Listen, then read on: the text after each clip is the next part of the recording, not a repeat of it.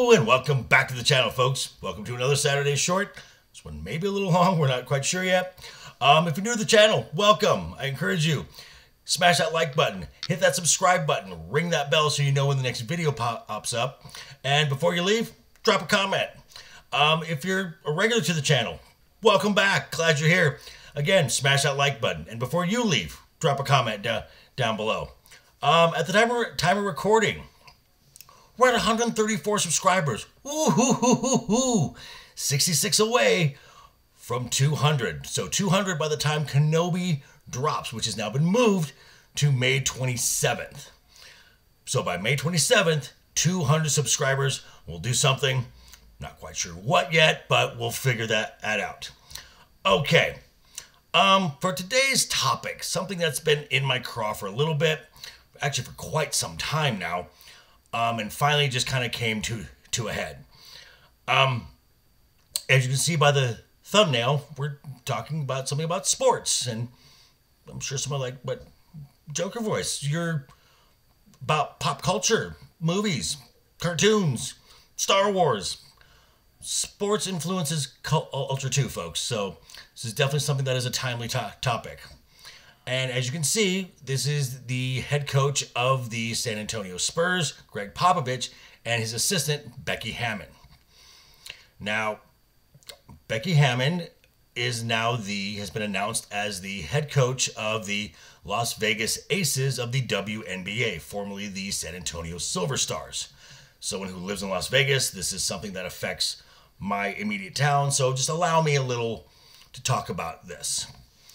Um, so Becky ha- Hammon started her career in June of 1999, starting off with the New York Liber- Liberty. And she was then traded to the San Antonio Silver Stars in April of 07. And she retired in 2014 due to a ruptured ACL. I, I believe that was the in, in, injury. Well, something fortuitous came to her since she was in San Antonio, part of her rehab. She's in and around the gym and whatnot. And the San Antonio Spurs would have their practices and the whatnot, and she'd be do, doing her rehab. And she just knows, knowing the players, would be talking to players and the coaches. And Gregg Popovich would sometimes ask for her opinion. He liked what he heard. And in 2014, Becky Hammon was the second female to be hired as a full time NBA assistant coach. Very cool. In 2015, Becky Hammon took the Summer League team, that, that, that is rookies and second year players, to a tournament during the summer here in Las Vegas, and they won the entire tournament. Okay. All of a sudden, we start hearing some buzz that maybe Becky Hammon could be the first female to be an NBA head coach. That would be really cool.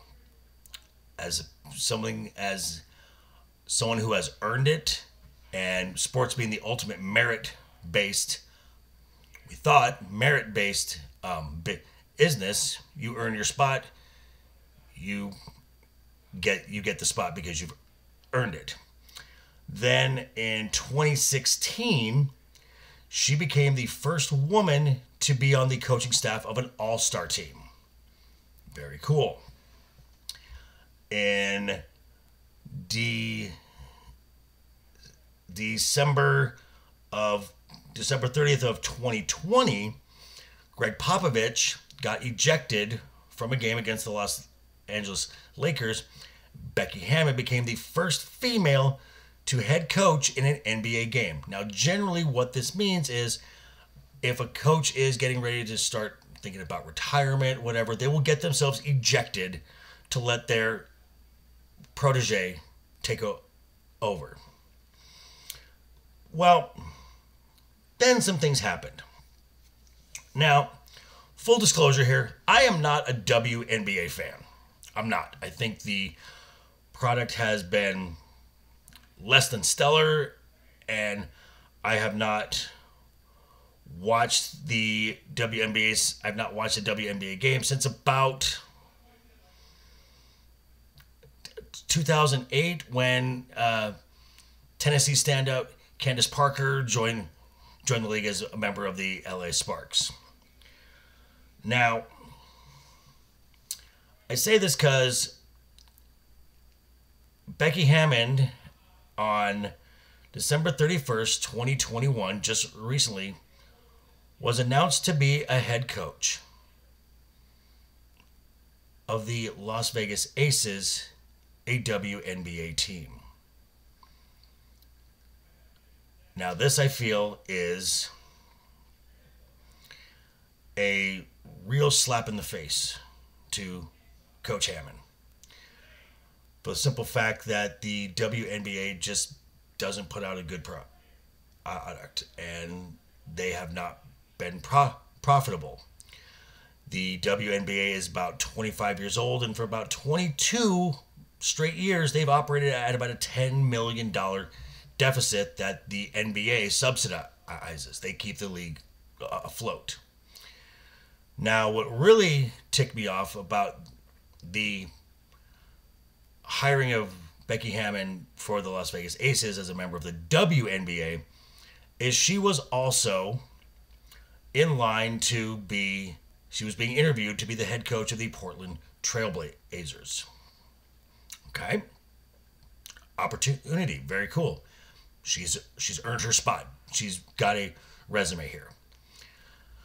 The Portland Trailblazers went with LA Clipper assistant coach Chauncey Billups. Now, Chauncey Billups is a former NBA player, played for the Detroit Pistons. No disrespect. He's a former NBA champion. Cool. He was the assistant coach to Tyronn Lue, who won an NBA championship when he was the head coach of the Cleveland Cavaliers. Cleveland Cavaliers team with LeBron James, Kyrie Irving, and Kevin Love. Probably one of the best all around teams in the league at, at that time. We can go into that's a whole another topic was did Tyronn Lue really do a whole lot of coaching there? But they went with Chauncey Billups, and part of the reason why they gave Becky was, well, you have no head coaching experience. Well, neither does Chauncey. Well, you know, Chauncey worked for a NBA championship coach. Well, so is so is Be- Becky Hammon. Tyronn Lue has one. Gregg Popovich has five. So this is a huge, in my opinion, this is a huge slap in the face to her. This is an insult. This is a, a step down for her. And personally, I want Becky to take her five five year deal and destroy this league. Because as it stands right now, the Portland Trailblazers are have a record of 27 wins versus 49 losses. They are 35 games behind the top team in the Western Conference. You mean to tell me that when you picked Chauncey Billups, you thought Becky Hammon would do worse than this right now? Now, this has drawn some attention as a bartender here in Las Vegas. I meet a lot of people, and I've met some people, uh, front office of the Las Vegas Aces, and we had a chat, and I talked about how I think the game's not very good.